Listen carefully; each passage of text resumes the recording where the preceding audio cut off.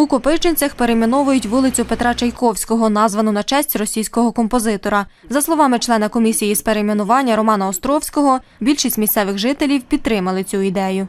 Вирішили все ж таки перейменувати просто у родину Елеєвих. Родина Елеєвих це було дуже цікава е, історія їхня. Я тільки фрагмент покажу. Один фрагмент. Кость Елеєв, який жив тут в Копичинцях, будував тут багато будинків, в тому числі народний дім збудований за його цього. І коли він виїжджав е, в Америку в ті тяжкі часи 20-ті роки, е, він побудував капличку.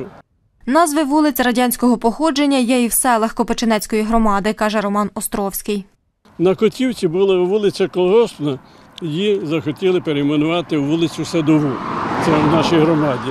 Е, ну, наприклад, в Яблонові також вулиця Чайковського, вони ще вирішують, в яку назву перейменувати місцевих. Е, так само в Тудорові була вулиця Колгоспна, її перейменовують. Люди, з якими ми поспілкувалися, ініціативу коментують так. Чайковський теж був світового е, слави композитор. Чайковського? Я думаю, що Чайковський то. Він як був Чайковський, так лишився Чайковський. так що, так що, так, звичайно, це, це, це взагалі не то, що відомий, а навіть дуже відомий. І багато на його творчості виросло, поколінь навіть. варто перейменовувати.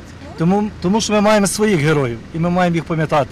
Інспектор відділу освіти Копичинецької міської ради Віктор Урбанський розповідає, окрім перейменування назв вулиць, планують демонтувати радянські пам'ятники. цвинтарі пам'ятник радянському солдату, і в одному селі ще в нас залишився пам'ятник також радянському солдату і двом піонерам.